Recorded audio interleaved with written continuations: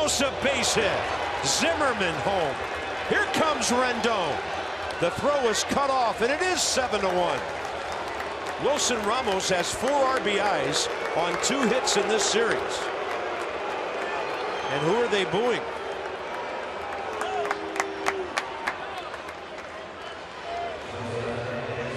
Down the line, baby.